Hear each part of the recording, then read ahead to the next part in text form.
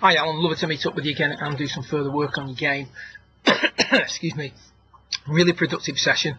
Um, some new findings in relation to what you actually do when you hit a bad shot. Uh, the feeling you had was that you were coming over the top of the ball. Um, you can see there looking at it at P5 when the left arm, or sorry, when the right arm uh, is parallel with the ground that you're far from over the top, the shaft shallowed nicely, the lead arm's angled inwards, uh, there's absolutely no sign there that we're coming over the top.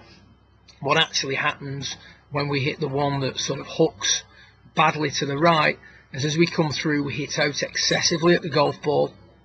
So the swing and the arms are directed way too much to the left.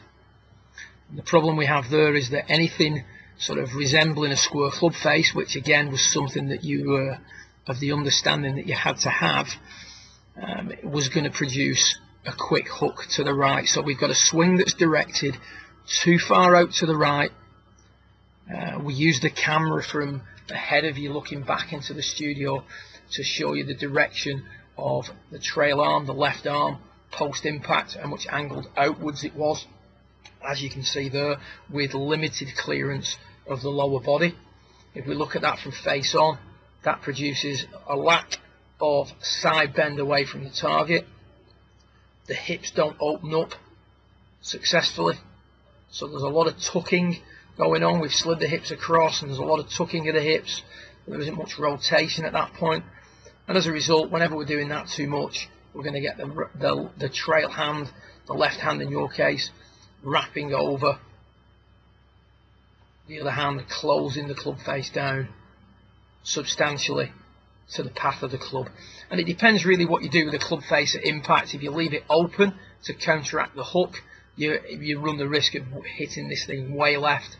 Um, if you, like I say, if you square it up or get anywhere near square, this ball's going to hook uncontrollably to the right hand side. So it was more to do with an understanding of face and path um, and a change of swing direction that we were looking for.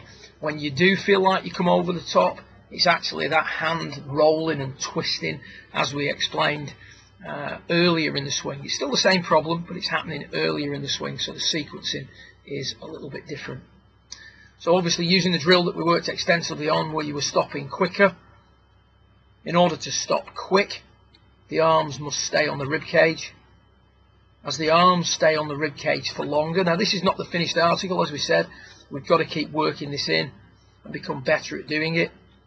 But as the arms stay on the rib cage in a much more appropriate manner, so in order to stop quick, the arms must stay on the torso. For the arms to stay on the torso, the body must start to work differently. And when that happens, we see things like the lead leg straightening, the hips coming out of their forward tilt.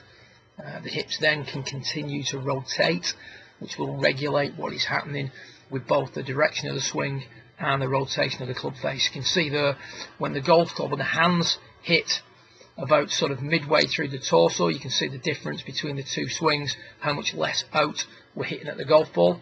We're still hitting out, we're just not hitting out uncontrollably. When we look at it from face on, we can see that there's much more of a clearance of the hips. So if you watch your belt buckle, remember one of the misconceptions with stack and tilt is that we don't want the hips to turn. Couldn't be further from the truth.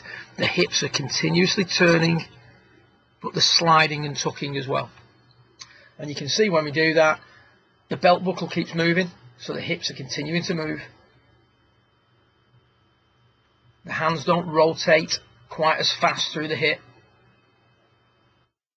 And there's more stretching off of the spine now. As we said, this sort of increased extension, if you will, so if look here, this increased side bending is a result of the orientation of the hips, but also because we're stopping quicker, we're now not in a position where we can actually just hurl the arms at it from the top of the backswing. So what we now look for is different sources of power. It's not conscious effort, uh, it's just your body figuring out how to generate some speed. And as we discussed in the session, the stretching off of the spine, the pushing up out of the ground, the rotation of the body is a huge source of power. So continue to hit the brakes in the finish. Plenty of swings where you hit it hard and stop quick. And you're going to start to see the exit start to lower down and the body start to work considerably differently through the hip. It's a great session. Look forward to watching this one progress over the coming months. Uh, certainly should start to remedy the big hook that you've been experiencing. If you look at those bottom two images, you can see that the one on the left is much more appropriate if you want to hook the golf ball. The one on the right is a much better sequence move. Just got to get better at doing the drill. The more you do it, the better the ball flight should become, and then the more you can sort of relax it and start it to feel a little bit more like a traditional golf swing. Good luck and look forward to working with you again.